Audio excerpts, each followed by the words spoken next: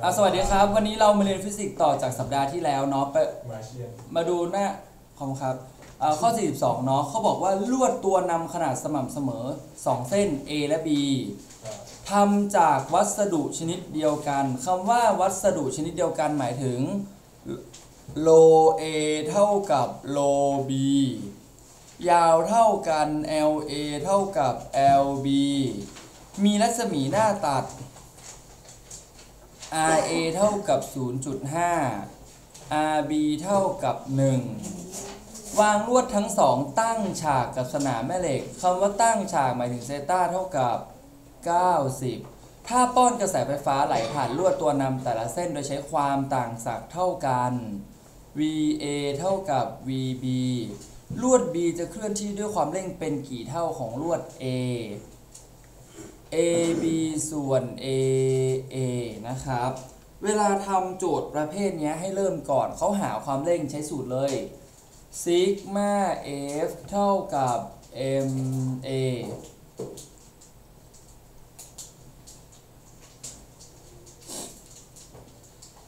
ทีนี้เนื่องจากว่ามันวางวางเส้นลวดอย่างนี้ใช่ไหม ปล่อยกระแสเข้าไฟฟ้าเข้าไปปุ๊บเนี่ย ไอทิศนี้ ใช่ไหมถ้าบ้านกระแสไฟฟ้าไอทางเนี้ยแล้วสนามแม่เหล็กตั้งฉาก สนามแม่เหล็กตั้งฉากพี่ไม่รู้ตั้งฉากไปไหนอะเอาสักทางอะสมมติ B มาทางนี้แล้วมันจะเกิดแรง F ยกขึ้นทางนี้ ตามหลัก F เท่ากับ FIB เห็นไหมถ้า I กับ B ตั้งฉากกันปุ๊บ F จะพุ่งขึ้นเสมอ พอพุ่งขึ้นปุ๊บซิกมา F จึงเท่ากับ F ลบ mg เท่ากับ ma งงไหมทำมือซิลองทำมือ ถ้า I ไปทางขวาปุ๊บ B พุ่งพุ่งเข้าหา พุ่งไปข้างหน้า ใช่ไหม F จะเป็นไงตั้งขึ้นไหมครับทำนิ้วให้มันถูก อืม มันควรตีนนะฮะ F แล้ว F ที่แรงที่ทำให้เส้นลวดยกเมื่อปล่อยกระแสไฟฟ้าเข้าไปก็คือ I L B sin theta ลบกับ mg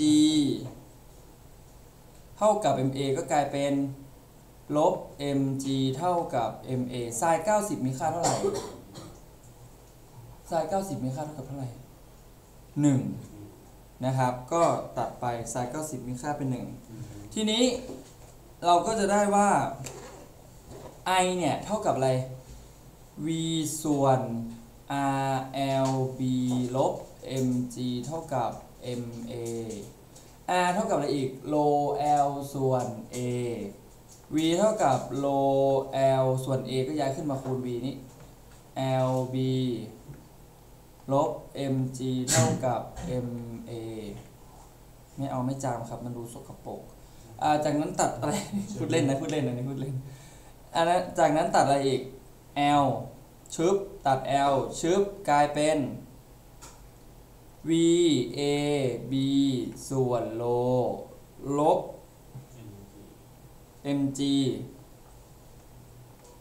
เท่ากับ ma ทีนี้โจทย์ต้องการหาตัวอะไร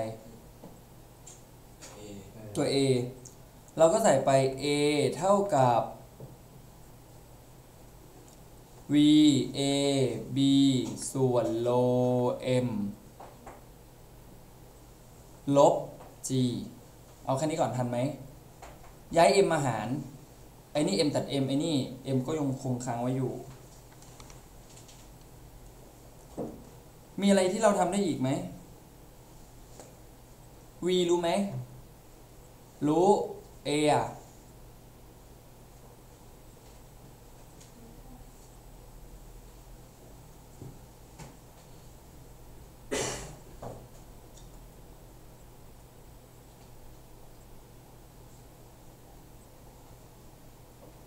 ทีนี้พี่ถามนิดหนึ่ง m ตัวเนี้ยเราทราบไหมครับ m ตัวเนี้ยเราทราบไหม m ของเส้นลวดเราทราบไหมข้อเนี้ยแล้ว m เท่ากับอะไรครับ โล v v เท่ากับอะไร a l เพราะฉะนั้นแทนลงไปก็กลายเป็น v a b ส่วนโล a l ลบ g ตัดอะไรทิ้งได้อีกโลเอ A ตัดทิ้ง เออโลอีกตัวกลายเป็นโลกำลังอะไรสองใช่ไหมครับ อันนี้ได้ A ละ ทีนี้เราหา A อะไร A B ส่วน A A แต่สังเกตนิดนึง V ความต่างศักย์โจทย์บอกว่าเท่ากันไหม เท่ากัน B เท่ากันไหม B คือสนามแม่เหล็กก็เท่ากัน ใช่ไหมเพราะอยู่ในสนามแม่เหล็กเดียวกัน โลก็เท่ากัน เพราะเป็นลวกชนิดเดียวกัน L ก็ยาวเท่ากัน เพราะความยาวเท่ากัน G ก็ค่าคงที่ เพราะฉะนั้นทุกอย่างเท่ากันหมด ก็ตอบหนึ่งต่อมาข้อ 43 ในเครื่อง mass spectrometer เป็นอนุภาคที่ผ่านส่วนคัดเลือกความเร็วเข้าสู่ส่วนวิเคราะห์ 6 ชนิด คือ พวกนี้ จะพบรอยดำบนฟิล์มทั้งหมดกี่รอย การที่เราจะพบรอยดำบนฟิล์ม แสดงว่าต้องเป็นอนุภาคที่สามารถทำไมครับ มันให้มันสามารถปล่อยกระแสไฟฟ้าออกมาได้ ง่ายๆ คือมันต้องมีประจุถูกไหม ทีนี้นิวตันเนี่ยมีประจุไหม ไม่มีมันเป็น n อะไร n 1 0ไม่มีประจุ เพราะฉะนั้นผิดอืมฮึโปรตอนน่ะ h 1 1มีประจุแน่นอนโปรตอนมีประจุ ดิวเทอรอนเป็นพ่อโปรตอน h 2 1 ก็ต้องมีประจุ ตริตอนเป็นปู่ของดิวเทอรอนเป็น 3 1 ก็ต้องมีประจุฮีเลียม 3 คืออะไร ปกปกติฮีเลียมคืออะไร He 4 2 ฮีเลียม 3 ก็คือ He 3 2 มีประจุ swap อัลฟาคือ He 4 2 ก็มีประจุ เพราะฉะนั้นจะพบแผ่นรอยดำทั้งหมด 5 รอยอันนี้ต้อง มันออกปีเดียวแหละ แล้วก็จะไม่ออกอีก เพราะว่าเป็นข้อสอบประหลาดที่ไม่เคยออกเลย แต่อย่างข้อ 14 น่ารักเห็นไหม ไปท่องทำไมแถบถมแถบสีตารางเนี่ย เพราะเขาจะให้มาเลยนะครับ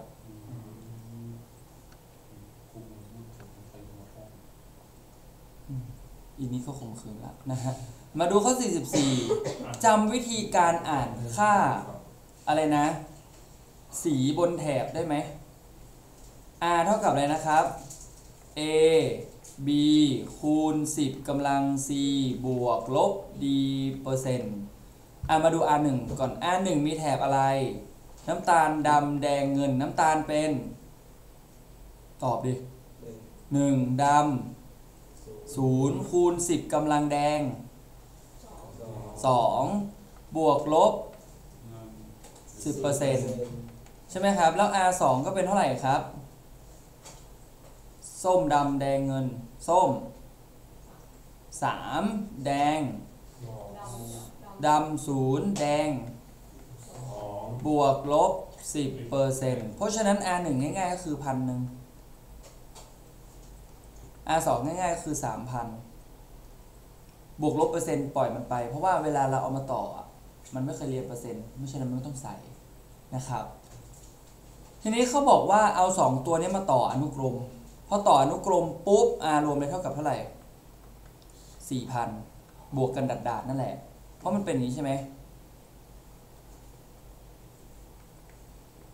แล้วก็ต่อเข้ากับ E ที่มีค่า 12 โวลต์เขาถามว่า V ตกค่อม R2 เท่าไหร่ อะ V ตรงนี้เป็นเท่าไหร่ ดูนะ V R2 ก็ต้องเท่ากับ I 2 R 2แต่ทีเนี้ย I 2เนี่ย จะเท่ากับ I 1จะเท่ากับ I รวม เพราะว่าต่ออะไรอนุกรม R 2เด็กๆทราบแล้วว่าเป็น 3,000 เพราะฉะนั้นตอนนี้ถ้าเด็กๆหา I 2ได้เด็กๆก็จะหา VR 2ได้ เพราะฉะนั้นก็ไปเข้าสูตร V รวมเท่ากับ I รวม R รวมออกมาก่อน V รวมเป็น 12 เพราะโจทย์กำหนดให้มา ตรงนี้มีก้อนเดียวไม่ต่ออะไรสักอย่างนะครับ I รวมก็ใส่ไว้ I รวม แล้ว R รวมก็เป็น 4,000 เด็กๆ แค่นำ12 ส่วน 4,000 ไปใส่ตรงนี้ เลขง่ายๆ นะฮะ ตัดตัดตัดตัดตัดตัด12 3 3 6 หาร 4 ได้ 9 ตอบข้อ 3มให้รู้เลยบอกมาดูข้อ 45 ถ้าวางได้ไหมเนี่ยถ้าวางวัตถุไว้ที่จุดศูนย์กลางความโค้งของกระจก เงาเว้า รู้จักกระจกเงาเว้าบอก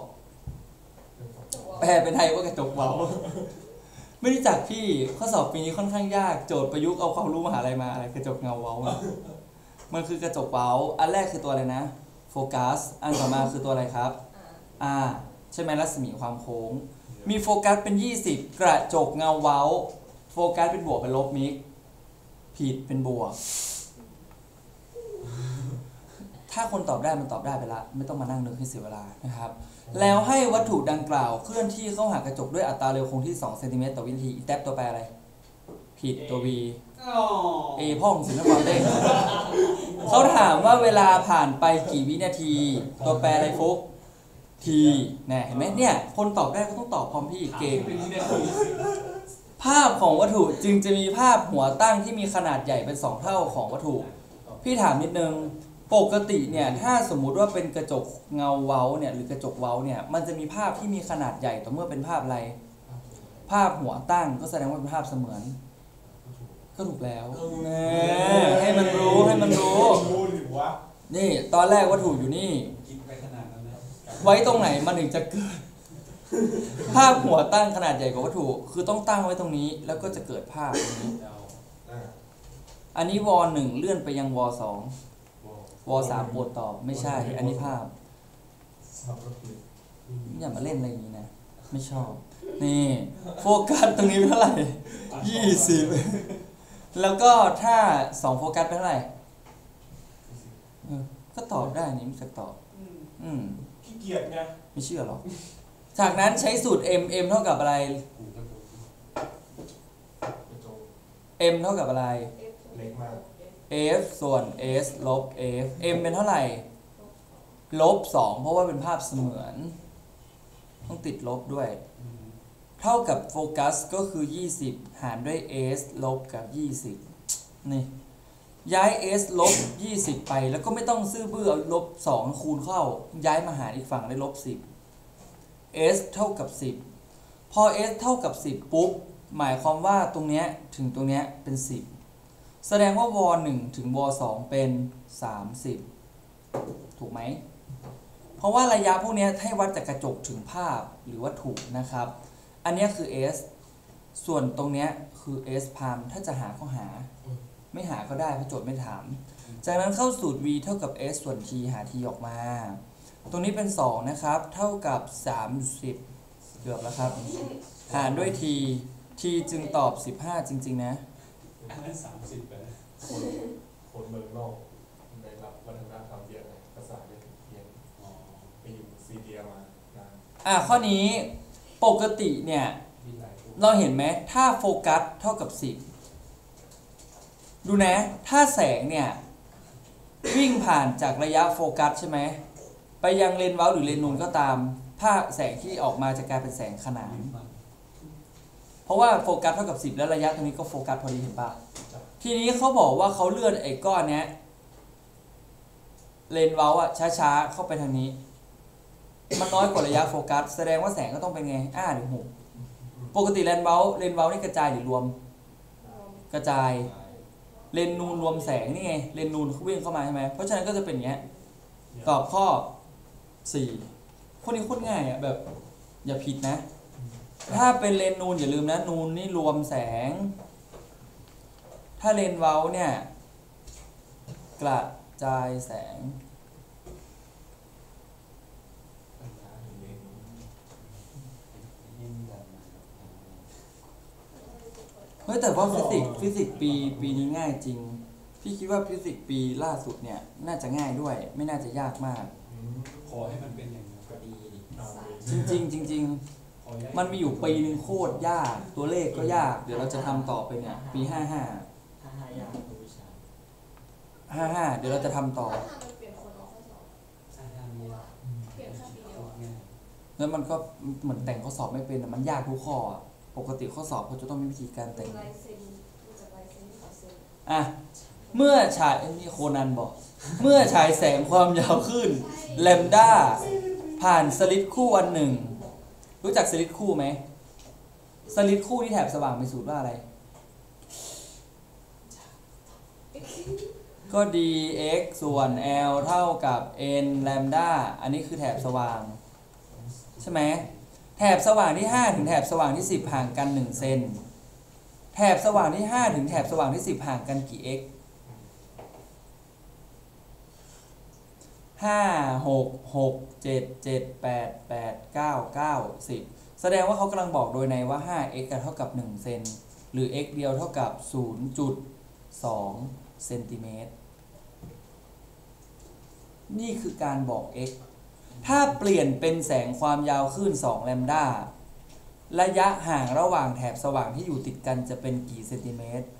ระยะห่างระหว่างแถบสว่างที่อยู่ติดกันก็คือ x เฉยๆเนี่ยเป็นเท่าไหร่ แถบสว่างถึงแถบสว่างก็คือ x ถูกไหมทีนี้เราก็มาเข้าสูตรก่อนตรงนี้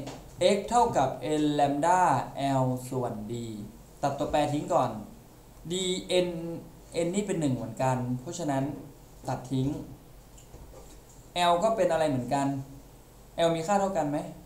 เท่ากันเพราะเขาไม่ได้บอกว่าเปลี่ยน l d ก็ตัดทิ้งเช่นกัน x 2 ส่วน x 1 เท่ากับ lambda 2ส่วน lambda 1 x 2 ก็คือสิ่งที่จะหา x 1 ก็คือ 0.2 lambda 2ก็คือ2 lambda lambda 1ก็คือ lambda ตัดตัดได้ x 2 เท่ากับ 0.4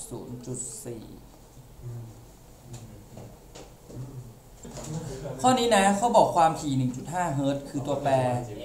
f ถูก ข้อนี้จำได้ไหมแลมด้าเนี่ยแลมด้าเท่ากับอะไรแลมด้าเท่ากับ 1 วงกลม ซึ่งเนี่ยครับแลมด้าจาก 0 ถึง 20เนี่ยคือแลมด้าเพราะว่าวิ่งจาก a ถึงตรงเนี้ยคือ 1 วงกลมพอดีเห็นไหมเพราะฉะนั้นแลมด้าก็เลยเท่ากับ 0.2 เมตร เด็กๆ ได้อะไรออกมาละ v เพราะ v เท่ากับ f คูณกับแลมด้าใช่ไหม1.5 คูณ 0.2 ได้อะไร0.3 เมตรเปอร์เซก ทีนี้โจทย์ถามว่า ถ้าจากจุด D เนี่ย ไปถึงตำแหน่งที่ 60 เซนน่ะจะใช้เวลากี่วิ ก็ใช้สูตร v เท่ากับ s ส่วน t ก็เป็น 60 ลบกับ 15 หารด้วย v ใช่ไหม0.3 แล้วเท่ากับ t เนี่ย ก็จะตอบ 1.5 เมตร ก็เขาวัดแค่เนี้ยมิใช่ไหม อันนี้เป็นการเอาเรื่องคลื่นกับการเคลื่อนที่ในแนวเส้นตรงมาจับกันโคตรเจาะนะครับ ต้องทำให้ได้นะข้ออย่างเงี้ยที่สำคัญคืออย่าลืมนะแลมด้าเนี่ยเท่ากับ1วงกลมนะครับแลมด้าเนี่ยเท่ากับ1วงกลม ตรงนี้อย่าลืมคูณร้อยด้วย เพราะว่าหาร 60 กับ 15กลายเป็นเมตร มาดูข้อ 49 นะครับ จากการทดลองการสั่นพ้องของลำอากาศในหลอดเรโซแนนซ์รู้จักหลอดเรโซแนนซ์บอกรู้จักหมายมันเนี่ยหน้าตาคล้ายๆหลอดฉีดยาถูกไหมมันก็คือหลอดที่สามารถปรับขนาดได้ใช่ไหมครับ พบว่าการสั่นพ้องที่เกิดถัดกันดูจำไว้นะสั่นพ้องคือเสียงดัง ที่เกิดถัดกันเนี่ยพี่ถามหน่อยดังถึงดังคืออะไรแลมด้าอะไรแลมด้าอะไรส่วนสอง ดังถึงเบาอะลมด้าส่วนสี่อย่าอย่าอย่าไปพลาด เพราะฉะนั้นโจทย์กำลังบอกว่าแลมด้าส่วน2อะเท่ากับ 27.5เซนติเมตรเพราะฉะนั้นแลมด้าก็เลยเท่ากับ 55เซนติเมตรหรือ 0.55 เมตร รู้ f ว่าเท่ากับ 640เฮิร์ตอุณหภูมิเป็นเท่าไหร่จำสูตรอุณหภูมิได้ไหม v เท่ากับอะไรนะ อ่าสามสามหนึ่งบวกศูนย์จุดหกคูณ t v เท่ากับ f lambda ถูกไหมครับ ก็เลยเป็น 640 เนี่ย คูณกับ 0.55 เท่ากับ 331 บวก 0.6 t เนี่ย ได้ t ออกมาแล้วเท่ากับ 35 องศาเซลเซียส เห็นไหมว่ามันไม่ได้ยากเลย แต่เราต้องรู้นิดนึง นิดนึง นะฮะ อะ มาดูข้อ 50 นะครับ เขาบอกว่ากล่องโฟมมีน้ำแข็งบรรจุอยู่พบว่าเมื่อเวลาผ่านไปครึ่งชั่วโมง น้ำแข็งละลายไปเพียง 150 กรัม ที่ถามว่าน้ำแข็งละลายเนี่ย ใช้สูตรอะไรเดลต้าคิวเท่ากับ ml เขาถามว่าพลังงานความร้อนต่อวินาทีที่ผ่านกล่องโฟมเข้ามาทำให้น้ำแข็งละลายมีค่ากี่วัตต์คำว่ากี่วัตต์คือตัวแปรอะไร P พี่เคยบอกพวกเราหลายครั้งแล้วนะครับ ว่าตัวแปรเดลต้าคิวเนี่ย มันก็คือตัวแปร W นั่นเอง W เท่ากับอะไรครับ P เท่ากับ W ส่วน T W เลยเท่ากับ PT เท่ากับ ML เขาถาม P เนี่ยเห็นไหมสูตรง่ายๆ แค่นี้บอกแล้วต้องใช้สูตรไม่ใช่สูตรแตกนะครับ M เป็นเท่าไหร่ 150 หาร 1,000 คูณกับ L เป็น 3.33 คูณ 10กำลัง 5 แล้วเด็กๆก็หารด้วยเวลาครึ่งชั่วโมงคือ 30 คูณ 60 อย่าลืมแปลงเป็นวินาทีด้วยนะครับ 30 ตัดกับ 150 ได้ 5 นะครับพันตัดกับ 10กำลัง 5 ได้ 100 100 ตัดกับ 333 ได้ 3 3 3 หาร 60 6 5หายไปไหน อะไรอะก็ได้ห้าห้าห้ายี่ห้าก็ประมาณยี่สิบเจ็ดจุดแปดเงี้ยกำลังจะบอกเงี้ยนี่ยาวยาวจัดว่าอะมาดูข้อ50นะครับ น้ำถูกปั๊มเข้าไปในปลายด้านหนึ่งของท่อยาวเพื่อส่งน้ำด้วยอัตรา 40 ลิตรต่อนาทีตัวนี้เป็นตัวแปรคิว ทีนี้ปีนี้อ่ามันออกเป็นแบบทฤษฎี ถ้ามันออกมาเป็นแบบคำนวณให้ระวังนิดนึง ดูนะ หลักการเปลี่ยนหน่วย การเปลี่ยนลิตรเนี่ย ให้กลายเป็นลูกบาทเดซิเมตรเนี่ย ให้คูณ 10กำลังลบ 3 แล้วก็ดูด้วยนาทีเปลี่ยนเป็นวิก็คือหารอะไร60 นะครับ พบว่าอีกปลายเนี่ย น้ำไหลออกมาด้วยอัตราเร็ว 30 ลิตรต่อนาที ข้อใดถูกต้องสิบ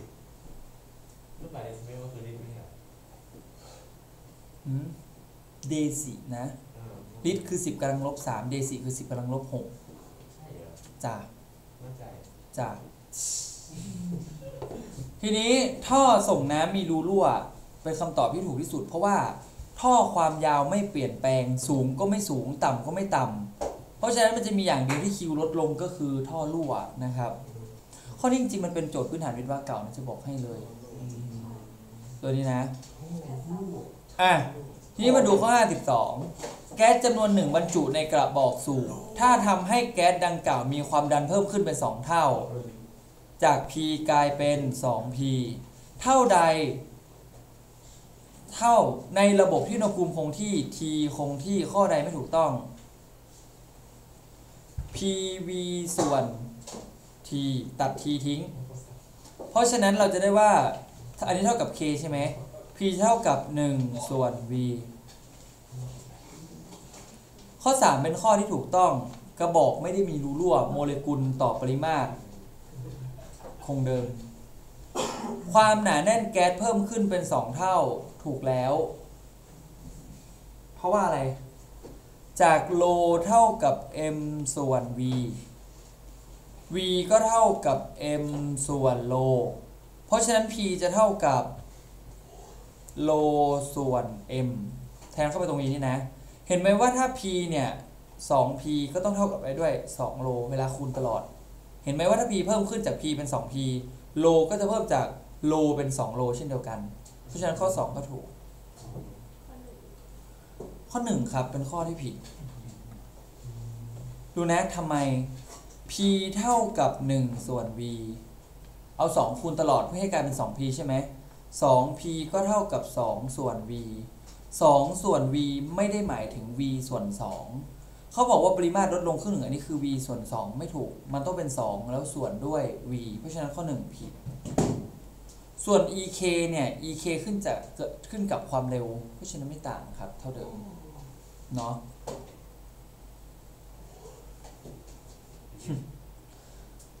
สังเกตชีทที่พี่แจกให้ไปเนี่ยหลังๆเนี่ยมันจะเริ่มเป็นเรื่องอย่างเงี้ยนะครับ เราก็รู้ๆกันไปว่าเราควรจะต้องทำไงกับมัน เก็บรวบรวมบุญไว้ที่ทำไว้นะฮะ แล้วก็ฝนไป ฝนไปเลยนะครับมีไม่มีจริงแบบครับลิตรมันคือรูปแบบเดซิพวกเราครับตรงนี้พี่จำผิดไม่ใช่ลูกบาทเดซิเมตร เปลี่ยนลิตรเป็นลูกบาทเมตร จะบอกอย่างนี้ ให้เราเอาคูณ 10กำลังลบ 3 ไม่ใช่ลูกบาทเดซิเมตรนะครับพี่ขอโทษ เปลี่ยนลิตรเป็นลูกเอ้ยเป็นลูกบาทเมตร ให้คูณ 10กำลังลบ 3 เนาะอย่าลืม เพราะส่วนใหญ่เนี่ยโจทย์มักจะให้อัตราการไหลมาเป็นหน่วยลิตรต่อนาที แล้วเราก็ต้องเปลี่ยนจากเปลี่ยนต้องเราต้องเปลี่ยนจากสูตรนะลิตร L I T E ลิตร per min เนี่ยเราต้องเปลี่ยนให้กลายเป็นลูกบาทเมตรต่อ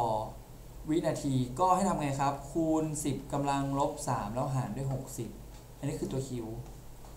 เออ ตัวนี้ตัวนี้ขอโทษ ขอโทษนะครับ บอกผิดไปนิดนึง ทีนี้นะครับให้ทุกคนเอาชีทที่มันเป็นเรื่อง 5 พศ ขึ้นมา ไม่รู้ว่าจำได้อยู่หรือเปล่า ไม่ไม่รู้ว่าไม่ได้เอามาไม่เนี่ยรู้ว่าจะได้ใช้รู้แค่ว่าอันเมื่อกี้หรือเปล่า ก็ไม่รู้ ไม่ใช่ เนี่ยที่มันเป็นอันเมื่อกี้พูดไหนอันนี้ไม่รู้ว่าจะได้ใช้วันนี้ก็ไม่เป็นไรครับเอ่อเอาไว้มาใช้คราวหน้าก็ได้เออวันนี้ก็จดไปก่อนจดใส่กระดาษข้างหลังไปก่อนนะครับจ้าเรามาดูข้อ 11 กันนิดนึง ข้อนี้ดูดีๆหน่อยนะ ระวังนะครับ ลองเทียบไฟฟ้าปีที่ผ่านมากับไฟฟ้าปีนี้นะ ว่าปี 55 ไฟฟ้าเป็นยังไงบ้าง เขาบอกว่าถ้านำหลอดไฟขนาด 50 วัตต์ ใช้กับไฟ 220 โวลต์จำนวน 2 หลอด มาต่อขนานแล้วต่อเข้ากับไฟฟ้า 110 โวลต์หลอดไฟฟ้าจะให้กำลังไฟฟ้าออกมาหลอดละกี่วัตต์ประเด็นคือข้อนี้เวลาเขาบอก P บอก V มา เราสามารถหาได้ก็คือตัว R เพราะหลอดไฟฟ้าเนี่ยจะมีค่า R คงที่จำไว้นะหลอดไฟอะ R จะคงที่ ถ้าไม่รู้ว่าเราจะหาอะไรหา R ออกมาก่อนเดี๋ยมันจะค่อย ๆ ได้ออกมาเอง ก็ใช้สูตรจาก P เท่ากับ IV P เท่ากับ V กำลังสองส่วน R R จะเท่ากับ V กำลังสองส่วน P หรือเท่ากับ 220 ยกกำลังสองส่วน 50 เห็นไหมว่าเด็กๆ จะได้ตัว R ออกมาแล้ว ทีนี้เราเอาหลอดไฟ 2 หลอดมาทำการต่ออะไรกันครับ ขนาน ดูนะ 220 เนี่ย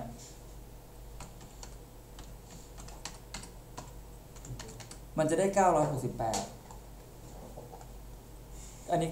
968 อันนี้ 968 แล้วทำการต่อกับไฟเท่าไหร่ 110 โวลต์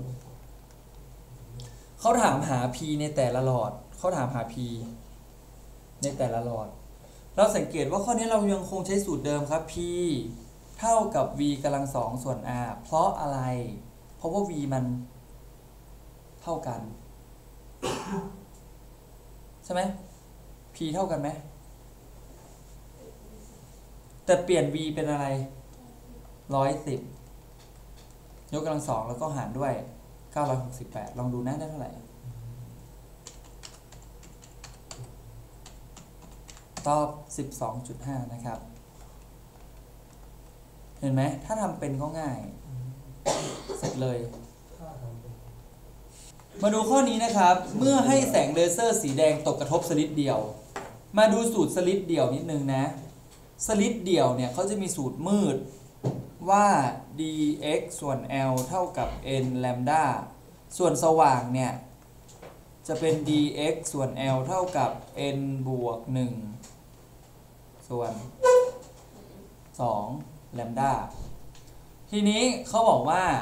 มีความกว้างของช่องสลิดเท่านี้ตัว d เล็กความกว้างช่องสลิดพบว่าบนฉากที่ห่างออกไป 4 เมตรตัว L ปรากฏว่าแถบสว่างกว่ากลางกว้าง 2 เซน 2x ที่นี่หลาย ๆ คนตรงนี้จะผิดเพราะไปใช้สูตรแถบสว่าง แต่จริงเนี่ยเราดูนะ สมมตินี่เป็นรูใช่ไหมครับ สลิดเป็นเมนรู อันนี้เป็นฉาก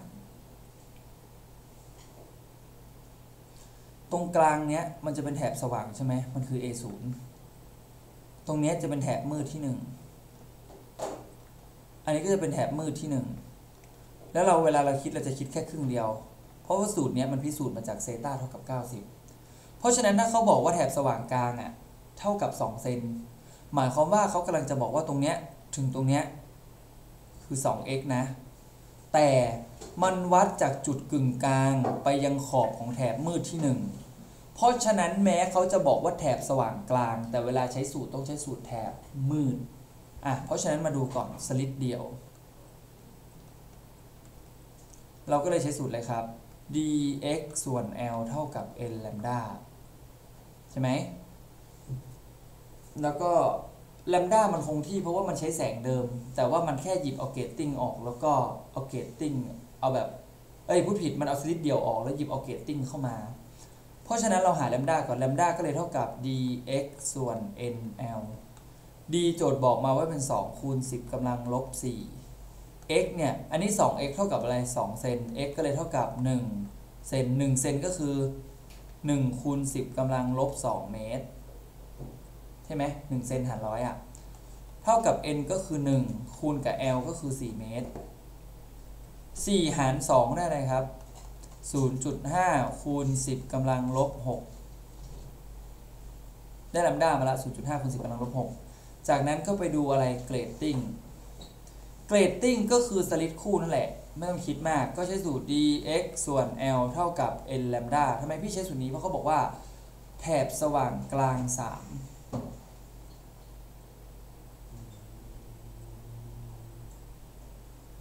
จะเห็นแถบสว่างแถบที่ 3 อยู่ห่างจากแถบสว่างกลาง 3 3 เมตร หมายถึงเขากำลังบอกว่าจาก A0 ถึง A3 เนี่ย เท่ากับ 3 เมตร เขากำลังบอก x นั่นเอง x 3เราก็ใช้สูตรเลย แต่ทีนี้เขาถามว่าเกรดติ้งนี้มีช่องกี่ช่องต่อตารางเซนติเมตรใช่ไหมเกรดติ้งจะมีสูตรว่า d เท่ากับ 1 ส่วน n ใหญ่ n เนี่ยคือช่อง ราะฉะนั้นก็กลายเป็น x ส่วน nl เท่ากับ n lambda n เท่ากับอะไรครับ n lambda l ส่วน x ไม่ใช่ กับกัน ต้องเป็น x ส่วน n lambda l x โจทย์บอกมาแล้วว่าเป็น 3 เมตรนี่เห็นไหม3เมตร n เป็นแถบสว่างที่ 3 ใส่3 lambda เป็น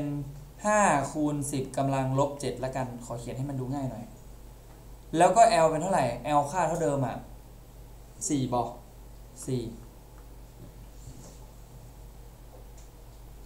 ก็จะกลายเป็นอะไรครับ 3 ตัด 3 10กำลัง 7 หาร 20 10กำลัง 7 คือเท่าไหร่ หาร 20 ห้าหนึ่งสองสามสี่ห้าอันนี้เป็นช่อง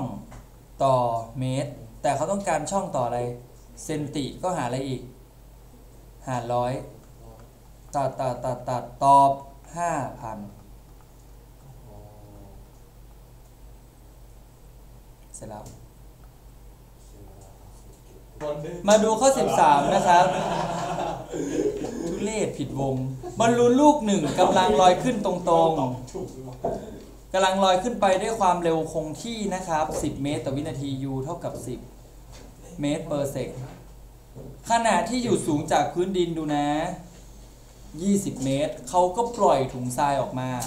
ถุงทรายก็จะขึ้นไปนิดนึงแล้วก็ตกลงมาถูกไหมครับ เขาถามว่าขณะที่ถุงทรายขึ้นไปจนถึงจุดสูงสุดเนี่ย มันห่างจากบอลลูนเท่าไหร่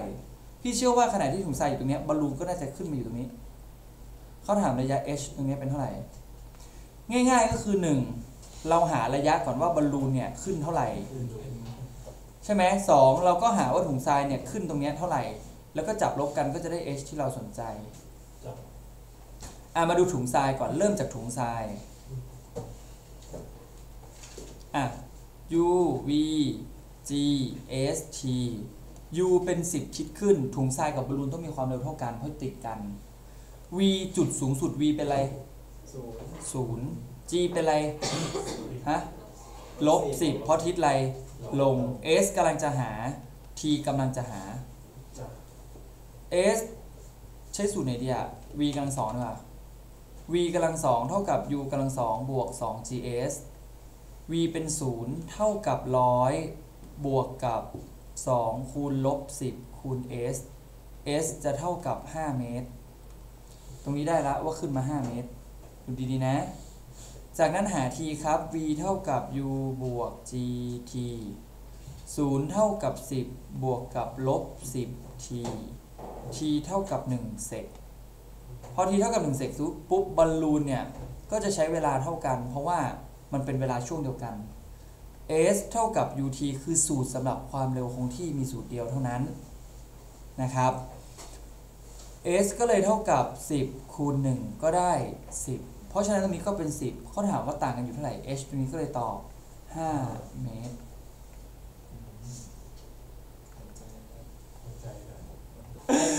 เดี๋ยวเอามาดูข้อ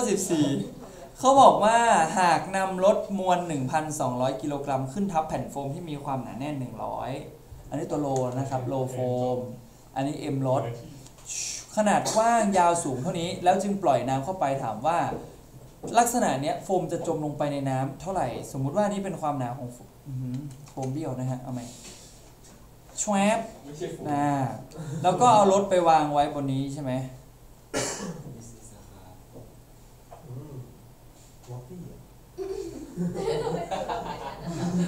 อืมล็อกปี้อะอันนี้มันเก็บของได้เยอะนะเป็นรุ่นใหม่นะฮะแล้วก็อันนี้เป็นระดับน้ำเขาถามว่าโฟมจมน้ำเท่าไหร่เขาถาม H ตรงเนี้ยแลมโบเท่ากับเท่าไหร่ เราสังเกตว่าตรงเนี้ยจะมี mg อยู่ 2 ตัวก็คือ mg ของโฟม บวกกับ mg ของรถ แต่มีอยู่ fb ตัวเดียวที่ดันขึ้นไปก็คือ fb ของน้ำนะครับ ข้อเนี้ยเวลารถกับโฟมมันลอยอยู่กลางน้ำเนี่ยเราจะใช้ซิกมา f เท่ากับ 0 ขึ้นเท่ากับลง fb จะเท่ากับ mg โฟมบวกกับ mg ลดนะครับ fb ก็คือ low v จม g low v จม g ใช่ไหม m ลดรู้แล้วอะ เอ้ย m โฟมไม่รู้รู้แต่ low v โฟม g บวกกับ mg ลดรู้แล้ว 1,200 คูณ g ตัด g ทิ้งก่อนเลย นะโลน้ำเป็น 10กำลัง3 v จมหมายถึงโฟมจมลงไปเท่าไหร่ กว้างยาวมันคงที่อยู่ละ ก็เป็น 1.5 คูณกับ 3 คูณกับ h นะครับ จับเท่ากับโลโฟมเขาบอกว่าเป็น 100 ปริมาตรของโฟมคือกว้างยาวสูงคูณกันให้หมดเลย 1.5 คูณ 3 คูณ 0.5 แล้วบวกกับ1,200เห็นไหมครับ เราจะได้ตัว h ออกมาแล้วนะ สังเกตว่าทุกอันเนี่ยจะตัด 10กำลังสองได้ อันนี้เหลือ 10 อันนี้หาย อันนี้หาย เดี๋ยวตรงนี้ค่าไปก่อน